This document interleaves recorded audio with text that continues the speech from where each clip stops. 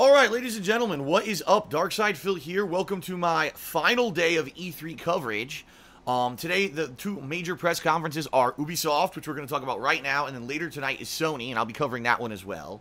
Um, tomorrow is Nintendo, but Nintendo isn't doing a formal conference. Instead, they're just going to do one of their like 30 minute long informative videos.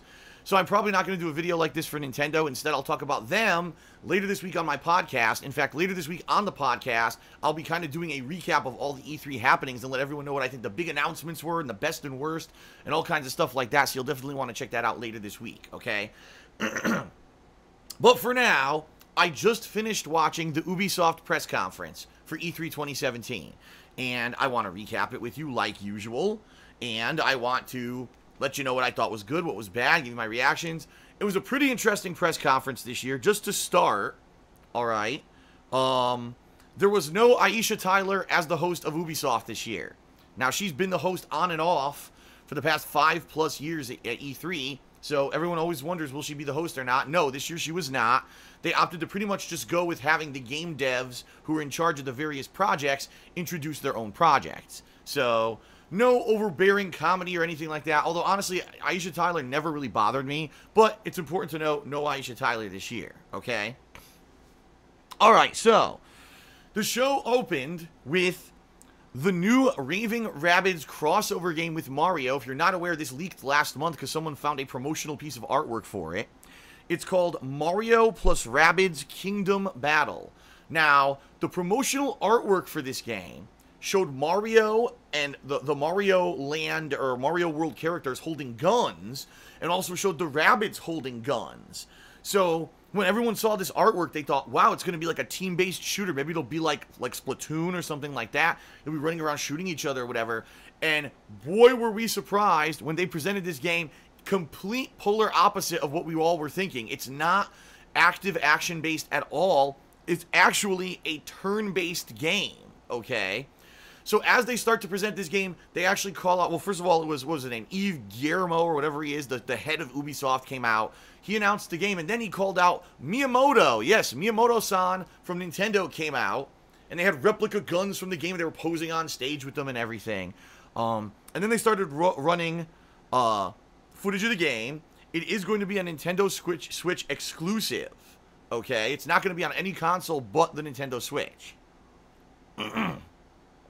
So, what is this game? It is a turn-based strategy game. Think XCOM, think uh, Disgaea, or think Final Fantasy Tactics. That's pretty much what this game is. The only difference is it's cover-based. So, uh, like XCOM, you have to get behind cover, and then during your turn, peek out and shoot. You can do combo attacks. They were showing that each character has unique abilities. Like Mario has an ability that every time an enemy attacks, he can immediately counterattack. So they're showing all these things. They're showing this cool uh, thing where you can do combo shots that make the enemies bounce up to higher levels to make them more vulnerable and stuff. so it looked pretty good. It actually did. It looked like a unique concept, something that no one was expecting because we were all expecting, honestly, a shooter game and a real-time strategy Mario Rabbids game is just like seriously so different you know? Now who knows? Eh, the thing is typically these mario games are made for a younger audience so they're not incredibly challenging. But real-time strategy games just by definition are some of the most challenging video games out there. So the question remains will this game be like a dumbed down version of an rts or is it actually going to be like really challenging? So i don't know. I mean it was really just kind of shocking because when you saw this you're like wow this is not what whatsoever nothing that we were expecting from a game like this. And certainly we weren't expecting Miyamoto to be so proud of the project that he came out and helped present it and everything. So I'm interested. And it actually has a release date of August 29th. Okay. So yeah, it's actually the end of the summer. it's coming out in just about two months. So that's pretty cool, right? Um, okay. Then they moved on to Assassin's Creed Origins and they showed some big cinematic trailer pieces, basically showing there's going to be all kinds of animals like lions and stuff in it, and there's going to be combat. But they didn't really show any gameplay. Um, they actually said, "Oh, after the press conference, we're going to show you gameplay," which makes no sense. This is the press conference. Now is the time to show off your game, right? Incidentally, I did watch about five minutes of gameplay after the press conference. Quite honestly, it looks like typical Assassin's Creed fare. The only difference now is that you can control an eagle and there may be a few other nuances like your weapons. The combat's a little bit different. There's an active dodge system, and the weapons level up and stuff like that. So it's basically Assassin's Creed with some minor additions and tweaks. Um, is it revolutionizing the entire franchise? No, it's not. But do we need it to revolutionize? Not really. What we need is a solid entry in the series um, that basically delivers rather than underwhelms. And keep in mind, we didn't get an Assassin's Creed game last year, so maybe this is the one. You know what I mean? Like finally, because we didn't get overloaded on Assassin's Creed, maybe this one will be a great installment. so we'll see. We'll see how it goes. Um, but it looks good to me. It looks solid, and you know, I'm I am excited for Assassin's Creed Origins. Um, and that, by the way, it is coming out on October 27th. October 27th is the release date for that one. Okay, up next. So they start showing a game where a guy's working on a car and then he's driving the car. And immediately you think, well, what's the Ubisoft franchise of driving? Oh, the crew, right? So maybe they're bringing back the crew. But then he's not driving a car anymore. Now he's driving some other unique kind of land vehicles. Now all of a sudden he's driving a boat. Wait a minute, now he's flying a plane. And you're like, what the hell? Maybe this isn't the crew. But no, it is. It was the crew too but they've dramatically expanded what the crew is going to be. They've now made a wide variety of vehicles that you can drive in this game, to which I'm, I'll be honest with everyone, okay? Typically for me, these racing games are like non-entities, all right? And what I mean by that is I don't get super excited over racing sims or anything. Forza, Gran Turismo, you don't hear me flipping out about it or that I'm so excited that I need to play racing games. For me, I'm not I'm really not a car guy. I'm not. I'm more of like every once in a while I'll play a racing game as like variety, but I'm not a guy that's like, oh, I'm, I'm, just jizzing in my pants because they got the new model. For example, yesterday at Microsoft's press conference, Forza 7, here's the new Porsche that no one's ever seen before, real car on stage. I didn't erupt with a giant boner because it was a fucking Porsche on stage. Um, same thing here, like, you would think that a game like The Crew 2, eh, I wouldn't care, but actually watching the way that the game was presented, showing that there's a variety of vehicles that you can go between, that actually got my interest. A game where you can basically, it's more about driving anything, actually is fun to me. Like, that is a hook that I think could sell this game compared to other racing sims out there that just driving a fucking car. You know what I mean? so, pretty interesting. Um, I, and I am, I'm not, I don't know, I'm not saying, by no means am I saying I'm definitely going to get the Crew 2, but I am interested in it. Like, it piqued my interest more than, say, any other racing game that I've seen in recent memory because of that variety of stuff, okay? Okay, and they, they did announce that game's coming out early 2018, all right? So early 2018, The Crew 2, we'll have to see. Um, South Park, The Fractured But Whole, they ran a trailer for it. There's some funny stuff in there. Now, you know, getting a little bit more of the humor. One of, one of the, the girls from the show, I forget her, I keep forgetting her name. It's the girl that, that what's his name likes, uh, Stan. But, um, I always forget her name. Uh, but she, now she's Call Girl. She's a superhero called Call Girl, which is actually funny, obviously. It has to do with, you know, adult humor, inside joke. So I like that, and you know they didn't show anything new, but we've seen the fractured butthole for like three freaking years now. So I don't think we needed to see anything new. Um, and the game's coming out October 17th. So great, South Park: The Fractured Butthole. Can't wait for it. Thumbs up. Uh, Wendy, that's everyone's going crazy in the stream chat. Wendy, it's Wendy, it's Wendy. It was Wendy. Okay. Um, okay. Then they presented a new game with Elijah Wood, the actor, uh, in it and it was really weird because you couldn't really tell what it was. They didn't actually show any gameplay, but the premise of the game is that they found a way to transfer like the human existence or human, um, not really intelligence, but maybe like I don't know, you know what I mean? Like whatever you want to call it, your soul or whatever. They found a way to transfer it into virtual reality. And apparently, the premise of the game is that there's people experiencing like other people's lives through virtual reality. And the name of the game is called Transference or Transference, excuse me. But it didn't really show any gameplay. It was just like a cinematic kind of trailer explaining the premise, but didn't actually tell you. Will, will this actually be a VR game? I have to assume probably yes. But they didn't even say what platform. Is going to be on PSVR or the Vive or Oculus? They didn't explain any of that really at all. So I honestly have absolutely no idea what to expect with this game, and that game is supposedly going to be coming out in spring of 2018. I guess we'll have to see if we get any more information on that game. Okay. The next game, I think, kind of surprised everyone. All right. It starts showing ships, pirate ships going across water, and immediately everyone's going, it's Assassin's Creed 4 Black Flag. Maybe they made a sequel to it, so there's two Assassin's Creed games coming out this year or something. Uh, but as we watch it more and more, you come to realize, no, actually, it's not that. It's actual, just seems to be like the pirate style gameplay from Assassin's Creed 4 Black Flag. So they show ships are fighting and shooting cannonballs back and forth and harpoons back and forth at each other, just like you did in that game. And then they show that you can board the ships, although, although they did not show any hand-to-hand combat, which makes me wonder if they, there's no hand-to-hand combat in this game. Is it just like kind of a naval simulator and it doesn't have that aspect? I don't know. Um, they did say that it is they, there will be a five versus five team-based PvP mode, which led everyone to kind of believe that maybe this game is going to be an online-only multiplayer game and ha not have a single-player campaign. But that was never said during this this you know trailer or presentation so don't take it as that but it could be that's kind of the possibility it might just be an online only multiplayer game we're not sure yet um the graphics were great. The ships looked really detailed and amazing. The sails were flapping realistically with the air and the wind. It looked pretty cool. Um, and then they said at the very end of it, the world will evolve with what you do. And you're like, what the hell is he talking about? And then they go to a quick, another quick cinematic scene where a kraken comes up and grabs a ship, and everyone's like, "Holy shit!"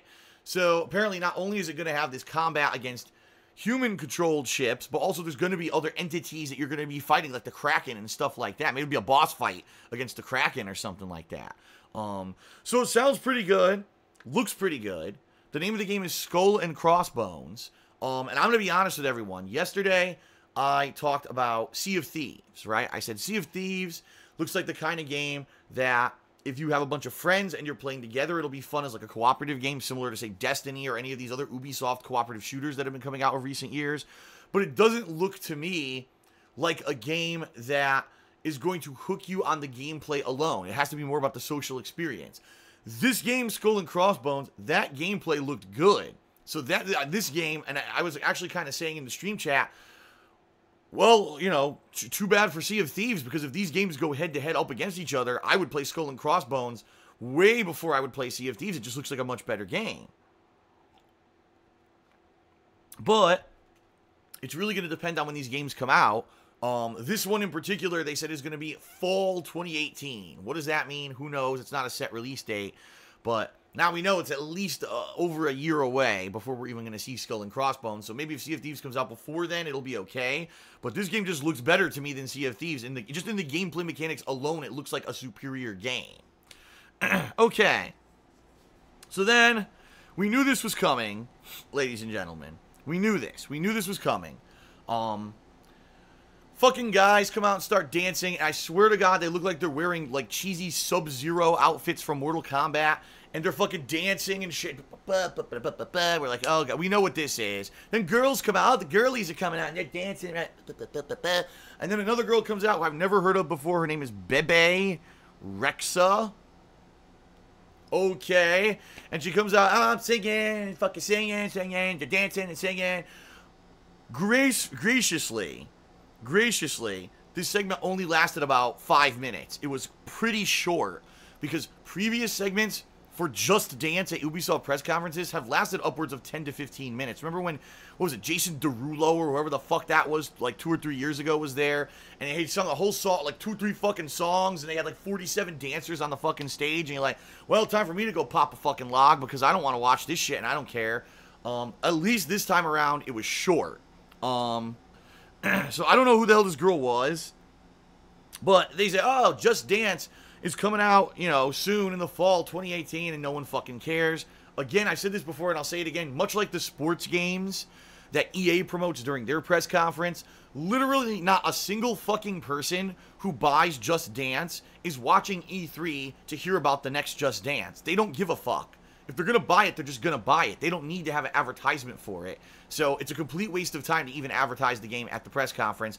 But they only did a very short presentation, so I got to actually say thumbs up to Ubisoft for actually fucking learning and saying, wow, let's make effective use of our time rather than waste everyone's time. So thumbs up. okay. Um, excuse me. it is time to do a couple quick shout outs because I saw that we had a few things going on, and then I'll continue on with the second half of my Ubisoft press conference reactions. Um, so, first off, thank you to Krauxer, who subscribed to the channel with Twitch Prime. Thank you very much, Krauxer. Um, thank you to Real Aziria, who actually subscribed to the channel for the third month in a row. So, welcome and thank you, and enjoy your Silver Crown badge that you're now going to get in the stream chat. He says, uh, been with you since Fallout 3. Glad you're still going strong. So am I. Thank you for the support. Um, thanks to Keycon3 who did a 10-bit cheer. He said, Forza, The Crew, and Need for Speed. Uh, not one of those looks bad to me. Yeah, I know we saw three different ga racing games so far at E3. I'm not saying that any of them looked bad. I'm just saying that The Crew seems to stand out for me as the racing game of E3 because it had that variety in all these vehicles. It's more appealing to me than just driving a car, driving a car, driving a car. You know what I mean? Um, and shout out to Sonic Wii who did a 10-bit cheer. He says, free cheers for a game that we didn't ask for, Just Dance. Okay. Thank you, everyone, for your support. Let's continue on with my reactions here. Okay. Um, get the stream chat back up.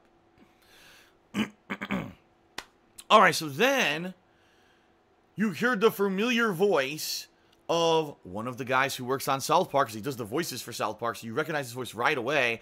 And they're showing a mobile phone, and you're like, oh, what the hell? Yeah, a new South Park mobile game is coming out this year. It's called South Park Phone Destroyer. And it seems like it's one of those collectible card games where you can get different versions of characters, but they said basically it's everything pop culture related. Video games, uh, you know, fantasy realm, alien, sci-fi. You know what I mean? Like every Roma fantasy you could think of, and you're gonna get different versions of the characters from South Park dressed up like the like different characters from different genres, and they're gonna fight and stuff. Seems interesting. Um, actually, it actually reminds me of this game that I was playing a couple months ago called Animation Domination Throwdown. Um, it, what it did is it took all the popular Fox cartoons like Family Guy, King of the Hill, Bob's Burgers, Futurama, and it planted all of those franchises against each other in like a combat card game.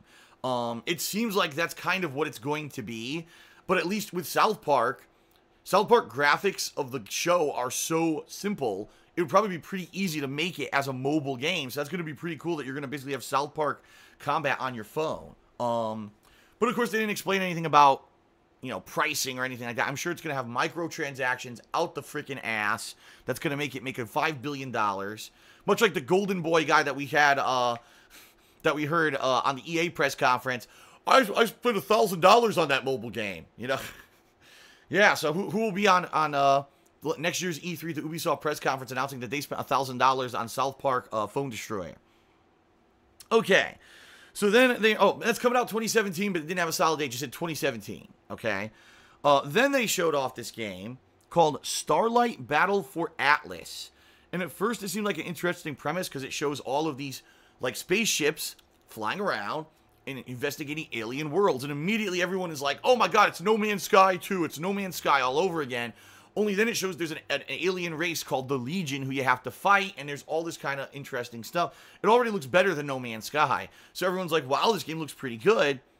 And then all of a sudden, okay, then all of a sudden, they show a toy. And first they show the Nintendo Switch. Oh, the game's on the Switch. Okay. Then they show a toy and this guy is like assembling pieces onto a, a, spaceship toy and he's got it on a controller. Now he's playing the game with a toy on his controller and you're looking at it like what the hell is this? Like what uh, what am i watching right now? And sadly as the, the trailer continues the game basically degrades into oh this is a game where you have to constantly buy pieces in a store physical toy pieces in a store to build your spaceship. So it's like one of these nickel and dime games where you're going to spend 60 bucks up front just to get the fucking game, and then they expect you to keep going back to the store and buying expansion pieces and everything. Um, or, or, you don't have to get the pieces in the store. The guy emphasized this. You could also get them digitally. Wow, so I can either buy physical toys at the store or I can go microtransactions out the ass to play your fucking game. I hate to say it, of all the games of the Ubisoft press conference, I give Starlight Battle for Atlas two thumbs down.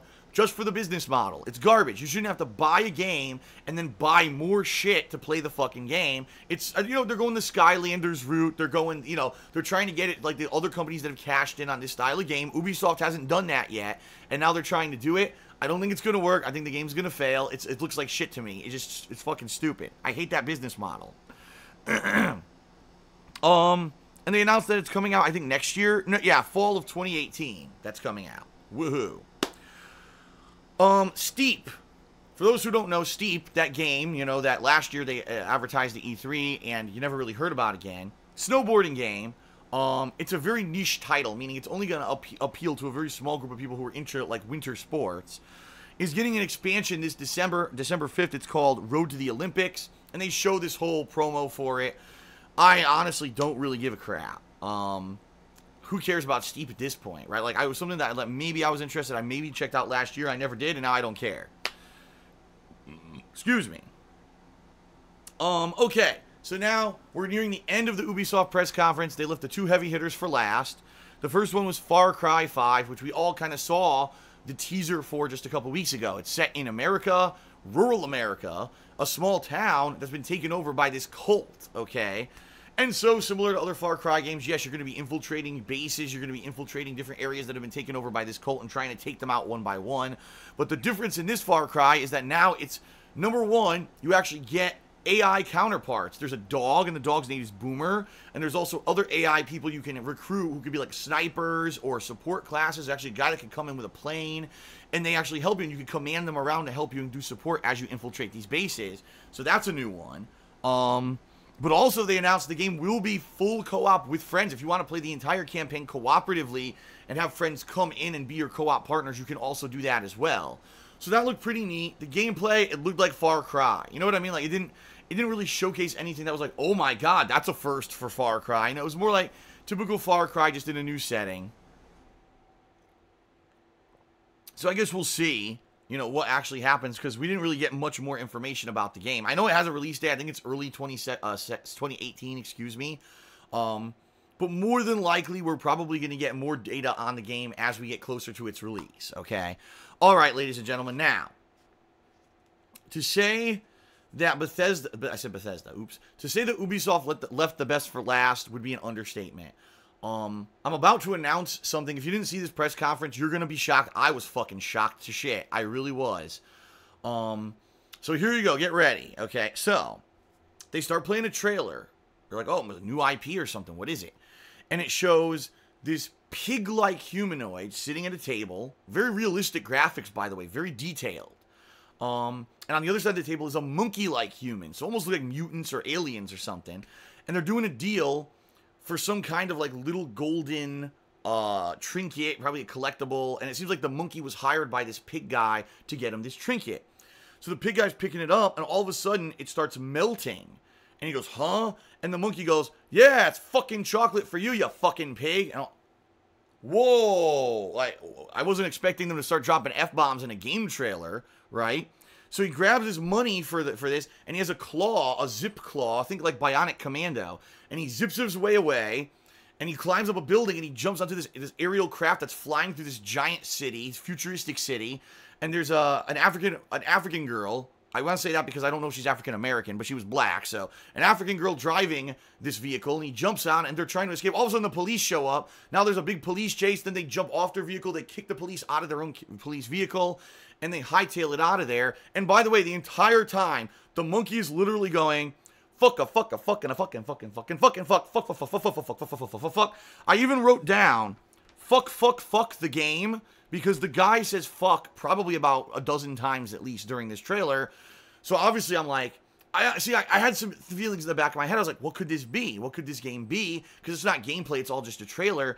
And the first initial thought I had in my head when I saw a pig-like humanoid I thought maybe it's like Beyond Good and Evil 2 because, you know, obviously one of the races in Beyond Good and Evil 1 was these pig-like creatures, but I'm thinking to myself, no, I can't be Beyond Good and Evil 2 because number one, it's been almost 15 years since the first one came out, and number two, because they're saying fuck every five seconds, like the game was not a, a really like seriously adult-oriented game, so I was like totally thrown for a loop.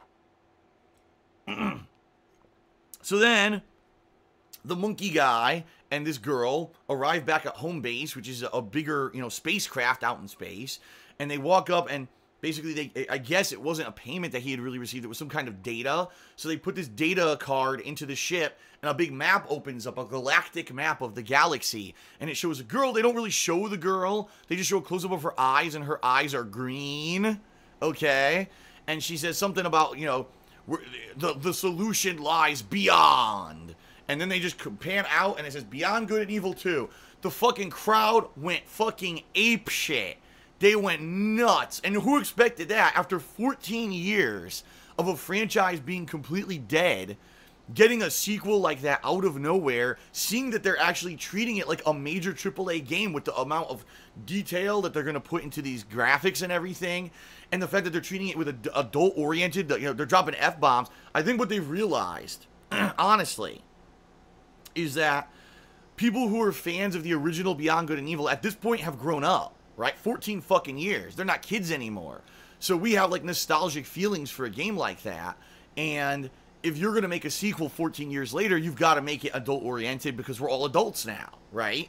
So I think that's what they did is they realized they wanted to make an adult oriented game. So then two presenters came out. For the first guy that comes out starts crying because the crowd reaction was so positive, and you can understand when you have a, a game franchise that's dead for the greater part of, a, of more than a decade, and finally. Uh, you know, a company gets enough confidence in the project to put the assets behind it to revive the series like that, and you get that massively positive reaction at E3, you're gonna get emotional. So I totally understood this guy's reaction as he walked out. And then they also had a uh, they also had a, a, a woman come out complete SJW archetype. The big googly glasses, the short dyed haircut. You know what I mean? Like everything. And of course, oh, it's going to be a diversified cast of both animal hybrids and all kinds of races and creeds and everything. And I'm like, oh boy, well, now we know. We see where this is going. It's going to have that. Not to say that that's bad, but I certainly hope that they don't like go out of their way to be overbearing with the SJW shit during the course of this game. so they start talking about the game, and they actually announce the game's actually a prequel. All right, now it's important to note because in the trailer, I thought maybe that was Jade, the main character of Beyond Good and Evil, piloting the ship, and they showed her green eyes. But no, maybe this is going to be like her, one of her, you know, predecessors. To eventually, you know, through the the genealogy, you get to Jade. So apparently, this is the backstory of how the universe populated with all these animal-like hybrid creatures and everything. And you know what? I'll be honest. I'll be honest here. I'm actually okay with that. Usually I'm not. Usually when you announce, oh, it's a prequel, I'll lose my shit. Because I hate prequels. Because prequels mean that you're going to know that certain things can't happen. For example, you're going to know that someone in the, the, the, genealogy line of Jade has to survive because she gets born. It just it's just cause and effect, right? When you watch the fucking Star Wars prequels, you know that Anakin Skywalker ain't gonna fucking die because he becomes Darth Vader in the next trilogy. And it's kind of the same thing for prequels uh, with games. I, I hate prequels because you kind of know certain things can't happen, all right? But for a game franchise that hasn't been around for 14 years, I think you have to realize that most people who end up playing Beyond Good and Evil 2 aren't even going to know the plot line or remember the characters and the stories from the original Beyond Good and Evil anyway. So regardless of the fact that this is a prequel, I think it's okay. Enough time has passed that they're kind of starting fresh. They want to redesign this universe in a new and creative way so that maybe now they can continue the franchise on later. I'm okay with that. Um, I think it makes sense. so, then to end the press conference, they had literally all of their game developers come up on stage together as a group, like a group shot, and said, "Thank you for you know for watching our our press conference. We really hope that you enjoyed it, and you know we'll see you." And let me tell you, so far I've seen EA, I've seen Microsoft, and I've seen Bethesda. By far, the Ubisoft press conference was the best one at E3. Now there's one major one left, Sony, and Sony typically does a really good job. But Ubisoft this year they hit it on all gears. What they basically did, they showed you every possible great game that they have in development, right? They gave you updates on games that were still in development. Uh, they didn't waste time on the bullshit you don't care about, like Just Dance. They did a really quick segment on that, and they gave a lot of time to the stuff that you'd be interested in, like, excuse me, Far Cry 5 or uh, Beyond Good and Evil 2. That was a big bombshell announcement, right? So for me, this definitely is the best press conference so far of E3. Um, will Sony top it? I have no idea. I mean, right now we know that there's a new God of War in development that's a totally new style of game, and I get the feeling we're going to get more data, more information on that later today. Um, but outside of that, are there any big bombshells? You know what I mean? That Sony has in store for us? I don't know. I guess we're going to find out. But in my opinion, Ubisoft, great press conference, great announcements of, you know, just to go through. Uh, Mario plus Rabbids Kingdom Battle, I'm going to be playing that. That looks good to me. Um, Assassin's Creed Origins looks solid. I'm going to be playing that. The Crew 2 I'm actually interested in when normally I wouldn't be. I'm actually interested in a driving game because it has such a wide variety of vehicles. South Park The Fractured But Whole, of course I'm fucking playing that.